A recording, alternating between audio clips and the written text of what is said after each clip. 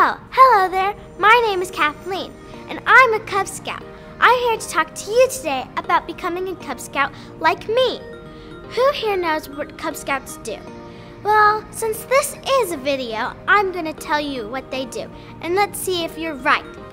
Cub Scouts get badges for doing fun activities, and we make friends. Scouts go camping, climbing, fishing, and swimming together.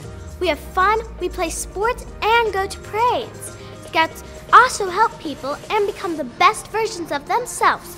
Scouts become future leaders. In fact, some Scouts even made history. Did you know that some of our former presidents, astronauts, award winning scientists, and actors were Scouts when they were your age? Here's an example of what Cub Scouts get to do each year. Wait for it.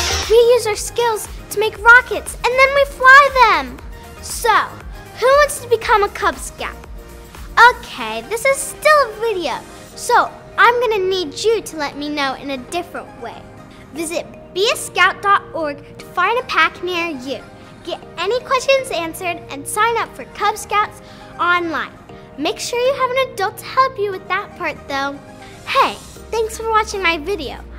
I hope to see you again soon as a Cub Scout like me.